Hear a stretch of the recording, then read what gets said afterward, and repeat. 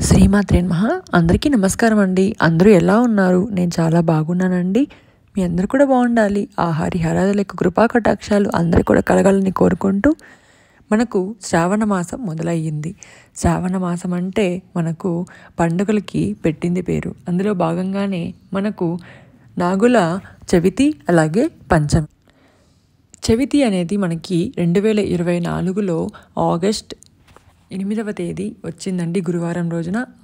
అలాగే నాగుల పంచమి అనేది ఆగస్ట్ తొమ్మిదవ తేదీ శుక్రవారం నాడు వచ్చింది. ఈ నాగుల పంచమిని గరుడ పంచమి అని కూడా అంటారు. అలాగే తన సోదరులకి తన సోదరి వాళ్ళ వాళ్ళు కట్టే అంటే ఒక రక్షా తాడు కూడా కడతారండి. అది అనే చాలామందికి ఆనవాయితీ కూడా ఉంటుంది. దాంతోపాటుగా ఈ రోజున తప్పకుండా సుబ్రహ్మణ్యేశ్వర స్వామిని అలాగే నాగరాజు అయిన నాగదేవత నాగదేవతని అలాగే నాగరాజుని పూజించడం వలన మనకి జీవితంలో ఎన్నో అంటే కుజదోషాలు కానీ రాహుదోషాలు కానీ కష్టాలు కానీ ఎటువంటి బాధలు ఉన్న సంతాన సమస్యలు ముఖ్యంగా అలాగే ఆరోగ్య సమస్యలు ఉన్న ఇవన్నీ కూడా పోతాయండి.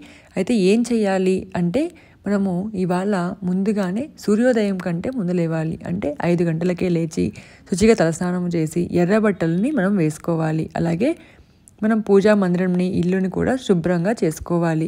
ఇది నాగుల చవితికైనా ఇదే పూజను చేయాలండి. నాగుల పంచమికి కూడా ఇదే పూజని చేసుకోవాలి. అయితే కొందరు నాగుల చవితి రోజున ఆచరిస్తారు. అలాగే కొందరు నాగుల పంచమి రోజున ఆచరిస్తారు. అలాగే గడపకి పసుపు కుంకుమని అలాగే గుమ్మానికి తోరణాలతో అలంకరించుకోవాలి. అలాగే పూజా మందిరంలోనూ ఇంటి ముందర కూడా ముగ్గులు పెట్టుకోవాలి. మనకి పూజకి గంధము కుంకుమ పసుపును వాడకూడదండి ఇక్కడ. చాలామంది తెలియక పసుపును వాడ వాడుతూ ఉంటారు. నాగేంద్రుడు అంటే నాగరాజు శాంతించాలి అంటే గంధముతో మాత్రమే పూజ చేయాలి పసుపుతో చేయకూడదు. అలాగే కుంకుమ ఎరుపు వస్త్రము అలాగే నాగేంద్ర స్వామి పాము పడగ తెల్లని అక్షింతలు ఎర్రటి అక్షింతలు ఎర్రటి పువ్వులు మందారం పువ్వులు అంటే మనకి రెడ్ కలర్ అయితే మందారం పువ్వులు దొరుకుతాయి కదా అలా ఎర్రటి పువ్వులు అయితే చాలా మంచిది. దాంతోపాటుగా నైవేద్యం కోసము చెలిమిడి చిన్న చిన్న ఉండ్రాళ్ళు వడపప్పు నల్ల నువ్వులతో చేసిన లడ్డూలు అరటి పండ్లు ఇవన్నీ కూడా మనకు కావాలండి. అంతేకాకుండా మనకి గుడిలో మనము దీపం పెట్టడానికి ఎర్రటి దీప ప్రమిదలు అంటే మట్టి ప్రమిదలు అయితే తీసుకొని వెళ్ళాలి. అలాగే ఆవు నెయ్యితో ఈ రోజున దీపారాధన చేస్తే చాలా మంచిదండి. దానికోసం ఏడు వత్తులతో మనము ఏడు వత్తులను ఒకటిగా చేసి దీపం అనేది వెలిగించాలి. అయితే మనము పూజ అనేది ఫస్ట్ ఇంట్లో చేసి ఆ తర్వాత గుడి దగ్గరికి వెళ్ళాలండి. ఈ పూజ అంతా కూడా ఉదయం తొమ్మిది గంటల లోపే ముగించుకుంటే చాలా మంచిది. అలాగే ఈ రోజున ప్రత్యేకించి గుడిలో అలాగే దేవుడి గదిలో కూడా పడమర దిక్కున తిరిగి పూజించాలి. అలాగే నుదుట నా కుంకం పెట్టుకోవడం మాత్రం అస్సలు మర్చిపోకండి. దాంతోపాటుగా ఈరోజు నూట ఎనిమిది సార్లు మనము ఓం నాగరాజాయన మహా అని మనం జపించుకుంటూ పూజ చేసుకోవాలి. గుడిలో అయితే మీరు పుట్టలో అయితే డైరెక్ట్గా పాలు పోసేయచ్చండి. కానీ ఇప్పుడున్న కాలాలలో మనకి ఎక్కడా కూడా పాలు పుట్ట అనేది దొరకడం లేదు కదా. దానికోసము మీరు నాగల రాళ్ళ ఇక్కడ చూపిస్తున్న నాగల రాళ్ళకే చక్కగా ఫస్ట్ నీటితో అభిషేకం చేయండి ఆ తర్వాత పాలతో అభిషేకం చేయండి ఆ తర్వాత మళ్ళీ నీటితో అభిషేకం చేసి చక్కగా మొత్తం నాగల రాళ్ళు మొత్తం ఆ ప్రతిమలను మొత్తము గంధములతో అలంకరించాలి. పసుపు వాడకండి దయచేసి. ఆ తర్వాత కుంకుమ బొట్లతో అలంకరించి మనం వస్త్రాన్ని సమర్పించాలి. ఒకవేళ మీరు ఎర్రటి వస్త్రము అనేది అంటే టవల్ని మీరు ఎర్ర టవల్ అని తీసుకొని వెళ్ళి వస్త్రాన్ని సమర్పించవచ్చండి. అది మళ్ళీ మీరు ఇంటికి తెచ్చుకోవచ్చు కావాలనుకుంటే.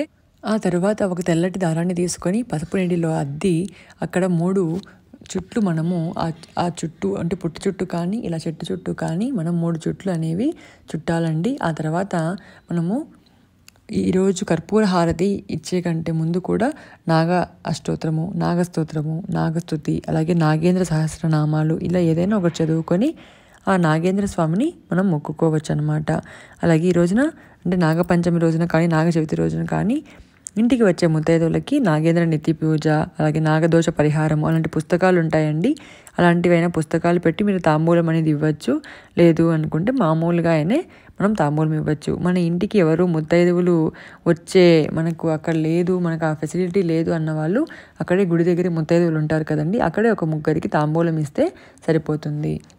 అలాగే ఒక చిన్న పరిహారం అనేది చెప్తానండి. ఈరోజు మన ఇంట్లో మన అంటే యజమాని అలాగే అంటే భర్త అలాగే పిల్లలు అందరూ ఉంటారు కదా వాళ్ళ కోసం మీరు ఏం చేయాలి అంటే ఒక ఎర్రటి దారం ఉంటుందండి. గుడి దగ్గర ఎలుపు ఎరుపు అలాగే పసుపు దారాలు అని ఒక షాప్ ఉంటుంది కదండి. ఆ షాపులలో దారాలు తీసుకెళ్ళి అక్కడ పెట్టి అంటే ఆ పుట్ట దగ్గర పెట్టి ఆ తర్వాత మనము మన పిల్లలకి ఒక రక్షలాగా కడితే చాలా మంచిదండి. ఇది చాలామంది రాఖీ పండుగ అనేది మనకి ఎప్పటి నుంచో అనేది ఇది నార్త్ ఇండియన్స్ నుంచి మనకు అలవాటైతే వచ్చింది. కానీ అంతకంటే ముందు పురాణాల నుంచి కూడా మనకు రక్ష అనేది అంటే ఒక తాడుని తీసుకొచ్చి తన సోదరులకి తన సోదరిమని కడుతుందనమాట అలా కూడా కట్టుకోవచ్చు. మన పిల్లలకి అలాగే యజమానికి అలాగే రక్షలాగా మనం ఈరోజు ఆ తాడు అనేది కట్టుకోవచ్చు. మనకు వాళ్ళ దగ్గర వాళ్ళ దగ్గరైనా మనము కట్టించుకోవచ్చు. ఆ తర్వాత టెంకాయని మనం అంటే కొబ్బరికాయని సమర్పించి ఆ తర్వాత మనం అక్కడే కాసేపు కూర్చొని చక్కగా దీపారాధన చేసుకొని ఇంటికి వచ్చే ముందు అక్కడ వచ్చే వాళ్ళందరికీ కూడా కొంచెం ప్రసాదం పంచుతూ దారిలో మనకు కనిపించిన వాళ్ళకి మనము చేయాలండి అంటే ఇవ్వాలండి. అంతే అంతేకాకుండా మనం గుడికి వెళ్ళేటప్పుడు ఈరోజు చెప్పులు వేసుకోకుండా పోతే చాలా మంచిది. అంటే చెప్పుల కంటే కూడా చెప్పులు లేకుండా అలాగే వెళ్ళి ఆ తర్వాత ఇంటికి రావాలండి అలా వస్తే చాలా మంచిది. అండ్ ఇంకోటి ఏం చెప్తారు అంటే మనం పుట్ట దగ్గరికి వెళ్తాం కదా అప్పుడు ఇంటి ముందు ముగ్గు వేయకూడదు. ఆ తర్వాత ఇంటి దగ్గర నుంచి వచ్చాక అంటే పూజ దగ్గర నుంచి వచ్చాక మనం ఇంటి ముందు ముగ్గు వేయాలి అంటారు. ఇది మా అమ్మ నాకు చెప్పింది. దీనికి కారణం అయితే నాకు తెలియదు ఒకవేళ మీరు అలా చేస్తారంటే మీకు తెలిస్తే నాకు చెప్పండి ఎందుకు అని. అలాగే పెళ్ళి కాని వాళ్ళు కానీ పిల్లలు లేని వారు కానీ ఆరోగ్యం లే సరిగ్గా లేని వారు కానీ ఈరోజు చాలా పవిత్రమైన రోజు మంచి రోజు. శ్రావణ మొదటి శుక్రవారము అలాగే గరుడ పంచమి నాగుల పంచమి దాంతోపాటుగా శుక్రవారం రావటం చాలా మంచిది. కాబట్టి మీరు ఏం చేస్తారంటే రాహుకాలంలో అంటే పదిన్నర నుంచి పన్నెండు గంటల్లోపు మీరు ఒక దీపం అనేది అక్కడ పెట్టండి. ఆవు నెయ్యితో అంటే రాగి చెట్టు వేప చెట్టు ఇలా నాగల రాళ్ళు ఉన్న చోట ఏ గుడిలో అయినా రాగి చెట్టు దగ్గర వేప చెట్టు ఉంటుంది దాని దగ్గర నాగలాలు ఉంటాయి కదా ఆ దీపం అనేది పెట్టి మీ మనసులో కోరికను నెరవేర్చుకో నెరవేరాలని తప్పకుండా మీరు మనసారా కోరుకోండి ఆ నాగేంద్రుడిని తప్పకుండా అయితే నెరవేరుతాయండి. అది పెళ్ళి కానివ్వండి వివాహం కానివ్వండి ఉద్యోగం కానివ్వండి ఆరోగ్యం కానివ్వండి సంతానం కానివ్వండి. అన్నీ కూడా నెరవేరుతాయి. అయితే ఇప్పుడు గుడికి వెళ్ళలేరు చాలామంది. అలాగే ఇంటి వాళ్ళకి పుట్టలు ఉండవు నాగల్లాలు ఉండవు. మరి ఇంట్లో ఎలా చేసుకోవాలి అన్న వాళ్ళు అలాగే పుట్ట దగ్గర చేసి ఇంట్లో కూడా ఎలా చేసుకోవాలనేది ఇప్పుడు చూద్దాం. ఇంట్లో ఇలా నాగేంద్ర ప్రతిమ అనేది ఉంటుందండి. ఐదు పడగల నాగేంద్రుడు అయితే ఉంటాడు. ఇది ఒక గ్రాము రెండు గ్రాముల వెండిలో అయితే మనకు లభిస్తుంది. దీనిని తెచ్చుకొని సుబ్రహ్మణ్య స్వామి విగ్రహం కూడా ఉంటే మీ దగ్గర మీరు ఇలా చక్కగా పాలాభిషేకము నెయ్యి పంచామృత అభిషేకం కానీ లేదా పాలాభిషేకం మాత్రం చేసి చక్కగా ఇలా మొత్తం కూడా గంధాన్ని మనం నేను చెప్పాను కదండి పసుపు వాడకూడదని గంధాన్ని చక్కగా రాయాలి. ఎందుకంటే శాంతిస్తారు అప్పుడే.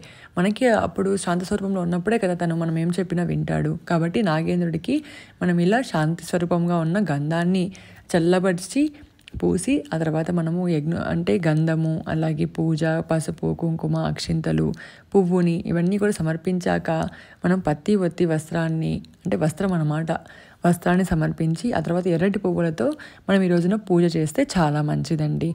మీరు గుడిలో చేసినా కూడా ఇంట్లో కూడా ఇలా చేస్తే చాలా మంచిది. అలాగే మరిన్ని ఎన్నో ఆధ్యాత్మిక విశేషమైన పూజ పూజకు సంబంధించిన అన్ని వీడియోస్ కోసం మన ఛానల్ని తప్పకుండా సబ్స్క్రైబ్ చేయాలని తప్పకుండా మన ఛానల్ని సపోర్ట్ చేయాలని కోరుకుంటున్నాను. అందరూ కూడా బాగుండాలి. అందులో మనం కూడా ఉండాలని కోరుకుంటూ సద్వేజన సుఖినో భవంతు.